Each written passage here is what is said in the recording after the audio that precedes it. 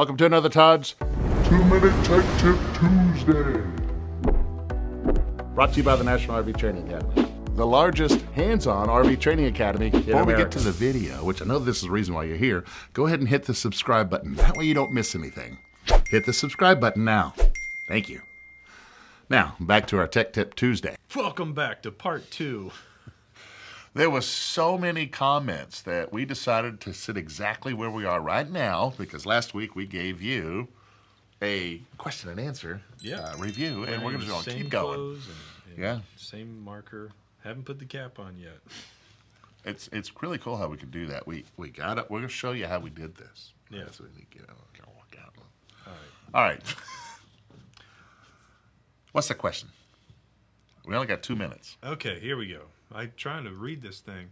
All right, this is from New American Tow Guy. 3633. So I'm seeing mixed videos. Do we or do we not use chemicals in our tanks? Not The nice gentleman at some other place said no chemicals and to only use water. Correct. And now you're saying yes on using specific chemicals for the tank. Now mm-hmm. this is based on an older video that. Yeah. we were trying trying something else, and there's actually some new stuff that's even better. Yeah. probably touch on. And when that. we say chemicals, here's the thing. If you watch my videos, I don't say chemicals. Remember, we are wanting that flora inside our holding tanks to actually thrive. Okay? That flora is bacteria. So bacteria, bacteria-based enzymes, something like that would help break down the solids. The question is now, when you hire someone, a professional to come clean it, what they're cleaning is the struvite on the sides, right? Adding water is not going to pull those minerals down or anything else, right? The chemicals, or I'm sorry, the bacteria that I recommend is to help break down your organic material that you're in, you know, putting into the gray tanks and in the black tanks. It doesn't get rid of the stuff on the sides. Now let's think about this. You had a tank cleaning company say, don't do anything but put water in there. Hmm. What do they do for a living? They clean tanks, right? Now, can that help? Yes. Here's the thing.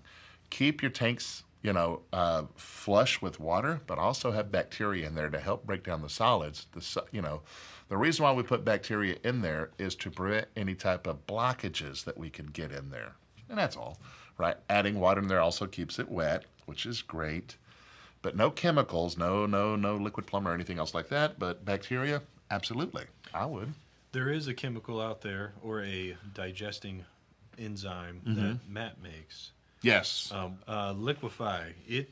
We actually did a, a head-to-head test, and you can see how it actually liquefies. It, it's it's amazing stuff. and one thing to help out, um, eat jalapenos, Bam. and you will liquefy.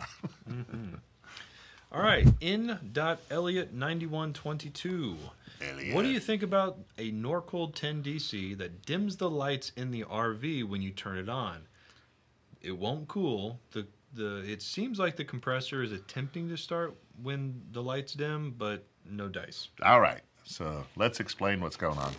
The Norcold, uh, uh, what was it? N10? Uh, 10 DC. I'm so close. 10 DC, which I don't know why they called it 10 other than 10 cubic feet. DC means direct current. They should have just said 12 volts DC. Anywho, it is a uh, 12 volt compressor style refrigerator. Any, you know, and it pulls roughly around 8 amps. Now, here's the thing anytime you turn something on and the lights dim, that's indicative of a couple things. Okay? Here's the thing we have, you know, some type of resistance problem. If the battery is completely charged, you turn on a relative it's not even a heavy load but let's just call it a heavy load. 8 amps is what it's going to pull those those uh, refrigerators. And you have lights dimming. That's indicative. That's a sign that you have a loose connection somewhere okay? However it could also be a sign that your battery is not fully charged okay? What i would do is what i would recommend is add another load like go to your slide outs what happens to the lights when your slides go out? Do the lights dim? If so, that's two different circuits. Dim on your um, refrigerator and dim on your slides. That means your source, right? You've got a loose connection between your battery and let's say your breaker panel box. If it only dims on the refrigerator turning on and not the slides, well, then you've just isolated, okay, it's only on that one circuit, or at least it's not on the other circuit. So that's how you kind of do some troubleshooting to find out where your problem is. Now, from there, I'd recommend check the battery. check your bus bar, and then check right behind your uh, circuit panel box, and then all if all of those are good, pull out the refrigerator and check your connections to the refrigerator. Well, that's going to stink, but that's how you would do that. Or you can go to RVTAA and find yourself a technician qualified to do that for you. Sounds like you got some investigating. You do. You can turn off the converter, see what happens. Steve Craig, 4536. Well, everybody likes these numbers. I know. So he's born in four- 45 or 36, one of the two. First season that I'm de- I'm dewinterizing. I took the anode rod out. I have uh-huh. a new one. Yeah. I can't remember if it seats all the way in. Seems like I can only get it about halfway in. The threads are you know halfway out. Yeah. Uh, I suppose if I fill it and it's not leaking, I'm good to go. If you fill it in, and it's not leaking, you're good to go. Um, yeah, you're going to have some there, but what I would recommend when you're de-winterizing, get a toothbrush and um, go ahead and clean out those threads because it's been sitting there a while. There can be some rust buildup, and so you know you're able to get that mostly in, but you know that's going to start gunking up. If it doesn't leak, totally true, it's fine. But before you put it in, toothbrush and clean out those threads. All right, RG dancing machine. I like that one. Why does my fresh water tank leak after I fill it up? Well, okay. Did you walk away with it still being? All right. Two things. He hit Uh, the freshwater fill indicator. Right. that is okay. If it leak, okay. One of two things: either you have a hole relatively higher in the tank, and it only links whenever the water gets that high, which is probably what I think it is, or it's the overfill valve where you, you fill it up too much and now the water's coming out. All tanks should have an overfill uh, little valve up at the top, so that way, because we tend to forget, we'll turn on the water and walk away. The water's got to go out somewhere, otherwise it's going to bulge and fall out. I suspect you have a leak, a hole up at the top somewhere near the top of the sides. All right. So Sean RMZ asks, "Thank you, friend, for this info.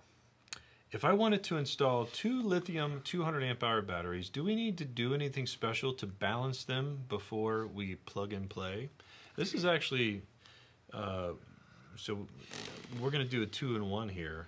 Let's answer his question. And let's, Sure. let's talk about what active balancing is and, and why that Why new technology, Yeah. the Big Beard active balancing, is, is probably going to be a new right. thing in the industry. So I think in this particular case, he's got two separate 12 volt batteries. Puts those in. Uh, he's saying before I connect those, do I need to balance those? In other words, whenever you buy, you purchase lithium batteries, depending on who makes them, the state of charge may be different. The question is, is if I put two batteries, I don't know the state of charge. I've got one that's 70% charged and one that's 90% charged. Do I need to balance them? Well, uh, if you have the time, yes, you can individually individually balance each battery, but you're not actually balancing each cell, and that's really what we want to do. Um, if you don't want to take the time in balancing them individually, this is what you can do. Go ahead and install those two batteries in, and then plug it into shore power and let your battery charger charge overnight right? Because as one battery charges, the other one, if it's already charged, then all the charging will go over to the other one. You would just have to wait a day or so. But you're really not balancing the cells on the inside. And that would take more than a couple days because whenever the batteries are in a charge state, in other words, a float state, that's when the top balance takes place. If you really want to, you know, unless you buy one or two brands out there, eh, I mean, three or four that do active balancing, you got to let it sit there on charge for days for those cells to be balanced on the inside. So this now segues into the Big Beard battery. We saw that out there, right? We've been building batteries for, you know, developing them for years, you know, trying to figure out, okay, here we're adding technology. Here's the problem. After you use them, you use them, you use them, they get more and more out of balance. And not everyone can be plugged into shore power and sitting on shore power for three or four days, five days, to try and get these slowly balanced up. So uh, we were able to, you know, basically compile all the best technology out there and put those in the Big Beard battery. Now on this one, uh, what we have done is we've added what's called active balancing. Now active balancing means it balances cells while the battery is being charged, hence the term active. Passive balancing, which is what most batteries have, they don't charge until that battery is completely charged, or they don't balance until that battery is completely charged and you are not calling anything for it. you bought your batteries to use them, mm-hmm. right? And if you're always stuck on shore power, sure, you can go with the passive balance. But if you're actually going to use your batteries, man, you want all those cells on the inside to always be balanced so that way they all perform together. Think of it this way if we were all over here push starting a car and we all pushed at different times, we're really not going to go anywhere, right? Okay, go. Or go to, I always say, go to a. On three or Yeah, or three, or uh, after three, right? And that's kind of what's going on on the inside. So uh, if you already bought them, you know, plug them in, charge them up. But if you're still choosing a lithium battery, one thing you want to look at is does it have active balancing? And we do know of one battery out there that does have active balancing, and that's the Big Beard battery. Oh yeah, it kind of looks like this right here. All right. Well, hey, part two in the bag. Thank you. yeah. No question, stump this jump In. that I'm aware of. no, and the, There. there's ah. And there's your tech tip. All right, before you get to the bloopers, which is why you're here in the first place, the RV industry needs thousands of RV technicians and inspectors, and now is the perfect time to do that. If you want to make more money or have more control over your time, go ahead and click the link below.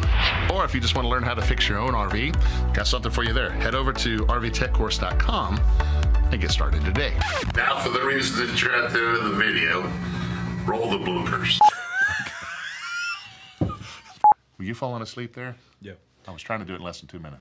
So New I'm American seeing- Toe, T O E or T O W? T O W. That's good. Oh, check. Uh, right there. That's heavy. I didn't think of that. Ah, look at that. Hey.